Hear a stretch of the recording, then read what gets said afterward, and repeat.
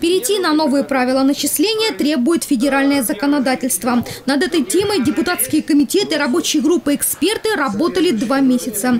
И вот проект решения городского собрания Сочи во втором чтении о на имущество физических лиц принят. С учетом того, что 80% сочинцев проживают в квартирах стоимостью до 10 миллионов рублей, депутаты решили существенно снизить ставки. На сегодняшний день у нас жители, которые э, проживают в квартирах кадастровой стоимостью до 5 миллионов рублей, э, коэффициент будет э, не 0,1, а в два раза меньше, 0,05 коэффициент будет. Для тех, э, кто, у кого кадастровая стоимость их жилого помещения, что, почему я говорю жилое помещение, то есть это и квартира, и дом. Стоимость от 10 до, от 5 до 10 миллионов рублей, тоже понижающий коэффициент 0,08 уже. И только от 10 до 25 миллионов рублей – это базовая ставка, которая определена федеральным законом, это 0,1%.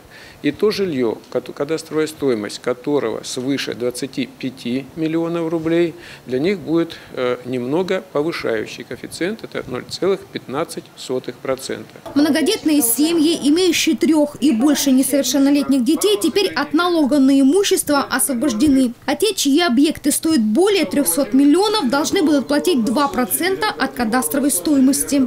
Учитывая, что новый порядок расчета налоговой базы по налогу имущества физических лиц вступает в силу с 1 января 2017 года, платежи пойдут с 2018 года, мы имеем возможность при необходимости еще раз вернуться к этому вопросу.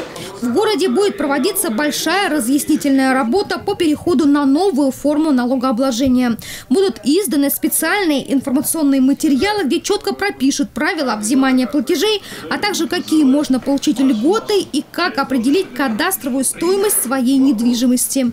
Елена Овсецина, Николай Тихонов, телекомпания «ФКТ».